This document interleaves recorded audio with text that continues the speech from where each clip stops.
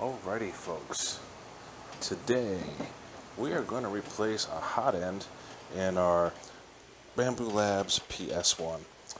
So, we're going to go what comes in your hot end box.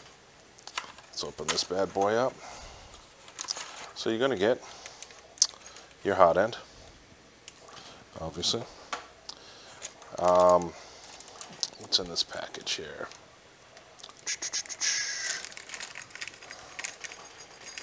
We're going to replace all this. So you're going to get in this package your your your thermal grease here.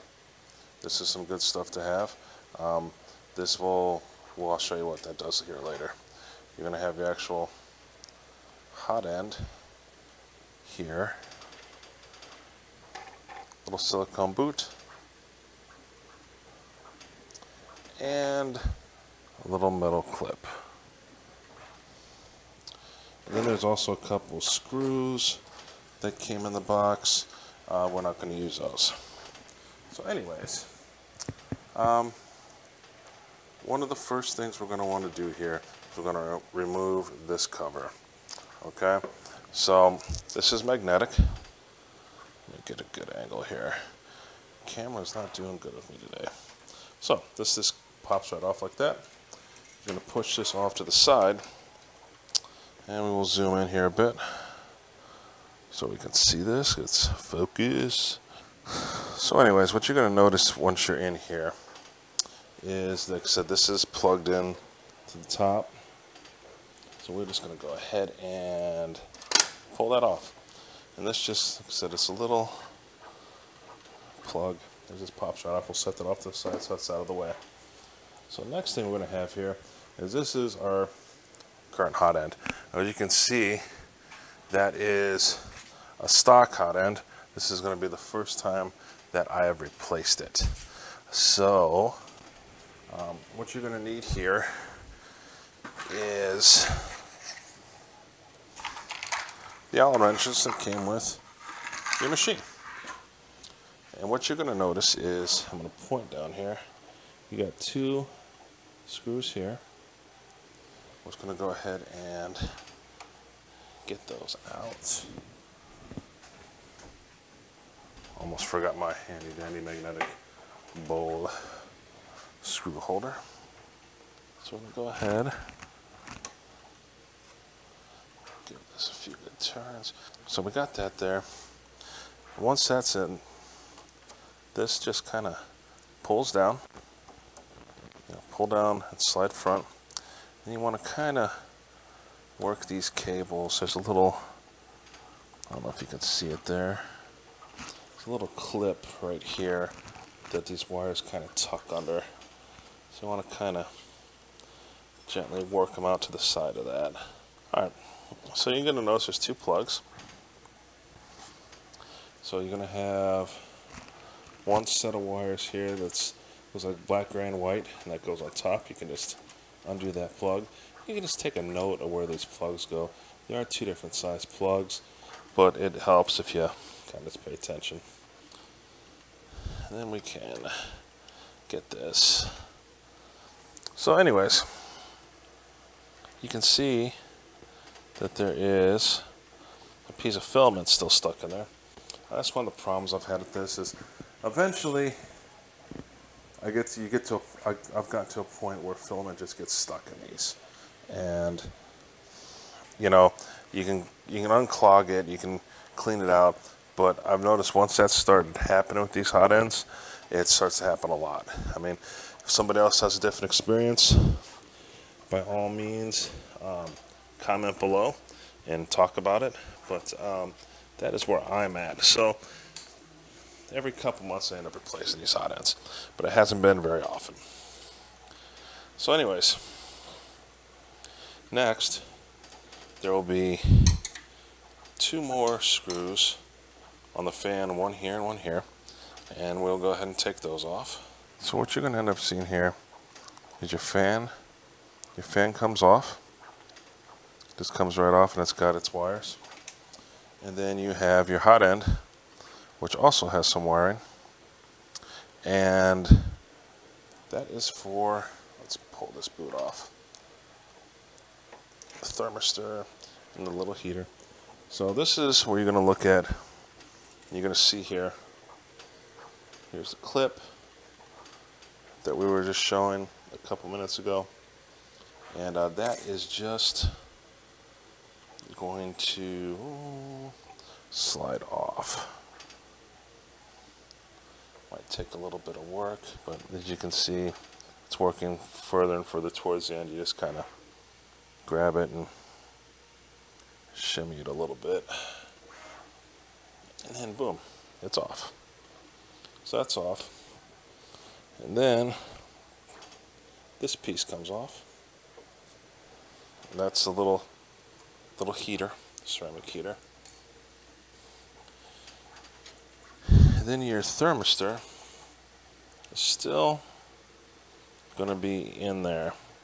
And what you're going to do with that is you're going to kind of work it a little bit because it's just put in there with some of that grease. So you're just going to kind of work it back and forth, kind of pull, kind of gentle, and then voila, it pop comes right out.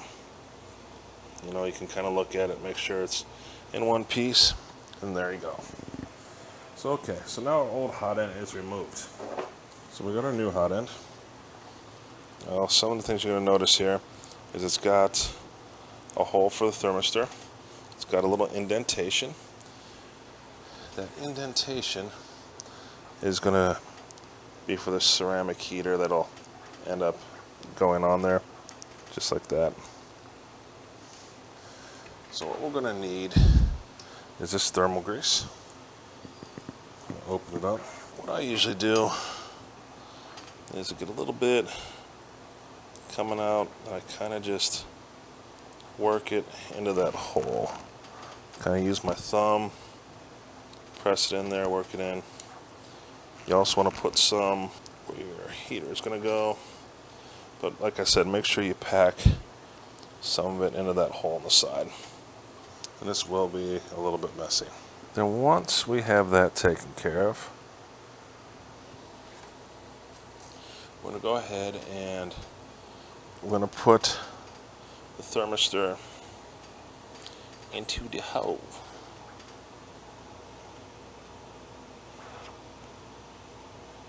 So just put it in there. We're good there.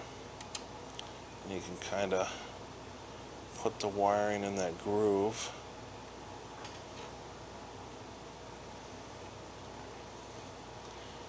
Then you can take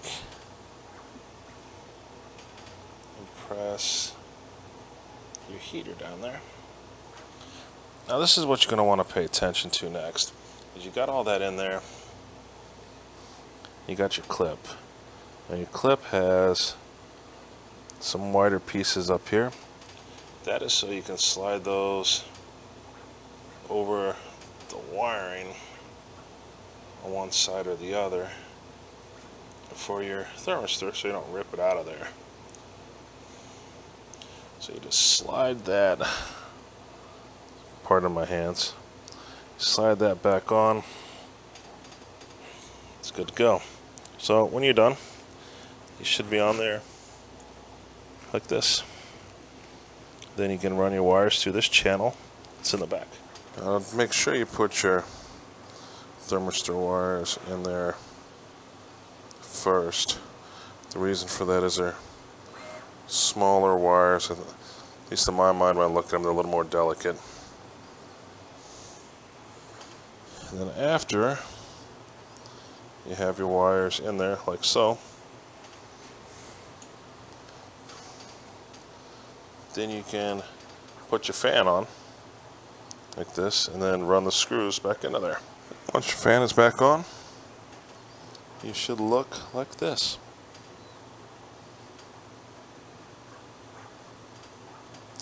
Alright, next we'll put our silicone boot on. Silicone boots on. Next up, we want to remount this bad boy. So I'm going to orient this way. And you'll see the two holes here. What you're going to want to do is slide that bad boy up in there so that the holes line up. Let's see if I can get in closer. Uh, I think that's about it. Anyways, so they'll be lined up with these two slots here. Let's go ahead and get these in there. And once those two are in there, you'll be good to go. Nice and tight. Kind of wipe some of that off. Anyways, next we're going to reattach these. I want to make sure you run these wires back under the clip, push back in. It's kind of a pain in the butt to line them up. There's one, there's two in there. Next, I make sure your wires are good. Make sure they're tucked in well. You see, you got everything in there. Next off, let's remove this tray out of here. Next off, we can reattach the one for dish guy for this fan. And then, voila, we're good to go. She's back together, ready to rock and roll. Now, one of the things I would recommend doing with this is after I place a hot end, I, I don't think it's absolutely necessary, but I always like to recalibrate the machine. So I'll run the recalibration and then I'll start printing. Anyways, guys, thanks for watching. I hope this was a help to you, and I'll talk to you later.